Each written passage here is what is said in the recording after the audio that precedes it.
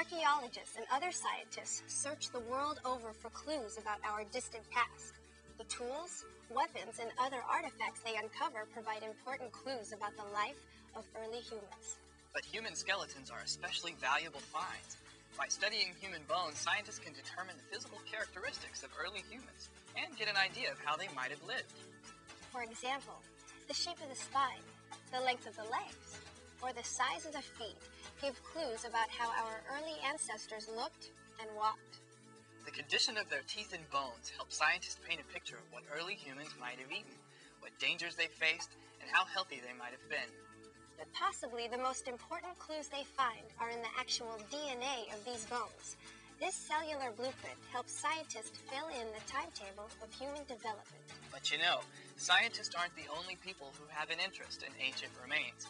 In this CNN story, you'll see how a battle for bones can result when cultural and religious concerns conflict with purely scientific objectives.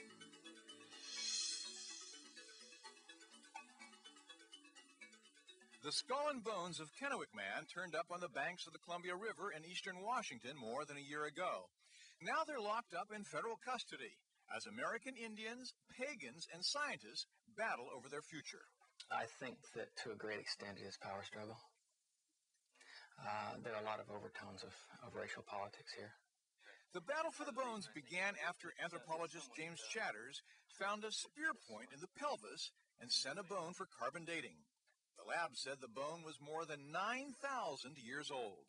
We had something extremely important, one of the very few complete skeletons anywhere near that old uh, in the Americas.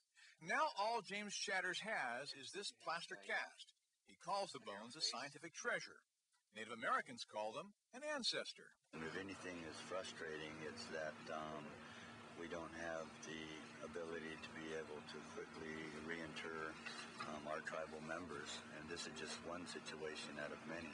But Kennewick Man may be even older than the ancestors of Native Americans and may look more like Europeans. Hail Odin!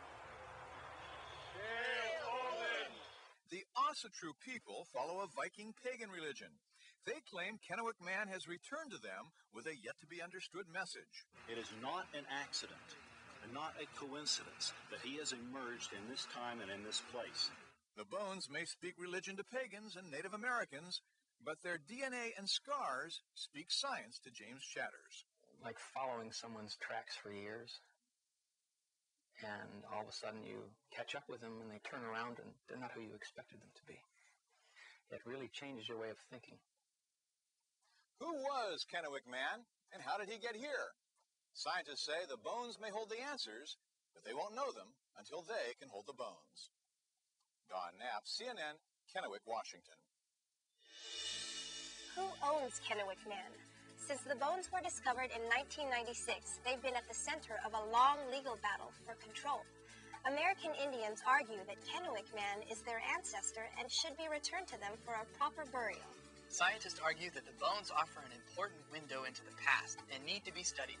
In early 1999, a group of scientists won the right to study the bones, but Kennewick Man's final fate has not been determined. If you were the judge, how would you settle this battle for the bones?